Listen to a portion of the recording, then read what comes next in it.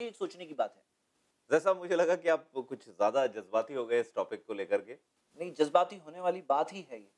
अगर हम देखें वो सारी औरतें ह्यूमन बींग्स हैं हमारे जैसे इंसान हैं वो उसके सारे बच्चे हमारे जैसे इंसान हैं। और जो वहाँ पर हो रहा है जब इंडिया में बात आएगी तो यहाँ तो फिगर्स ऐसे भी पॉपुलेशन माशाल्लाह है तो यहाँ पे फिगर्स और ज़्यादा सिवियर होने वाले हैं।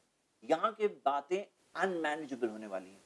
और हम ये देखते हैं कि ये सारी चीज़ें कोई क्यों नहीं फील कर रहा है?